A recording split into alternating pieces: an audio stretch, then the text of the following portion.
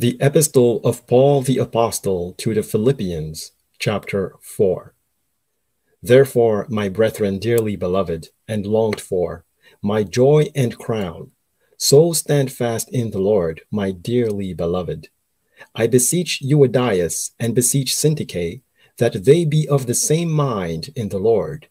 And I entreat thee also, true yoke fellow, help those women which labored with me in the gospel with Clement also, and with other my fellow laborers, whose names are in the book of life. Rejoice in the Lord always. And again I say, rejoice. Let your moderation be known unto all men. The Lord is at hand.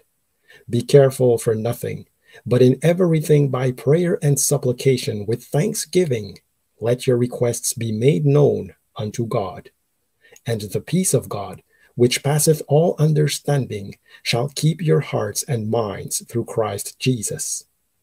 Finally, brethren, whatsoever things are true, whatsoever things are honest, whatsoever things are just, whatsoever things are pure, whatsoever things are lovely, whatsoever things are of good report, if there be any virtue, and if there be any praise, think on these things. Those things which ye have both learned and received and heard and seen in me, do, and the God of peace shall be with you.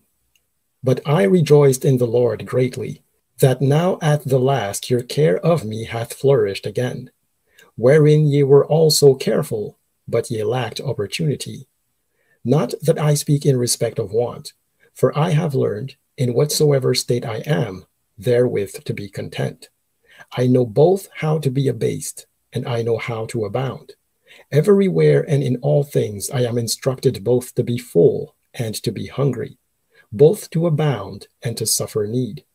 I can do all things through Christ, which strengtheneth me. Notwithstanding, ye have well done, that ye did communicate with my affliction. Now ye Philippians know also that in the beginning of the gospel, when I departed from Macedonia, no church communicated with me as concerning giving and receiving, but yea only. For even in Thessalonica ye sent once and again unto my necessity, not because I desire a gift, but I desire fruit that may abound to your account. But I have all and abound. I am full, having received of Epaphroditus the things which were sent from you, an odor of a sweet smell, a sacrifice acceptable, well pleasing to God. But my God shall supply all your need according to his riches in glory by Christ Jesus.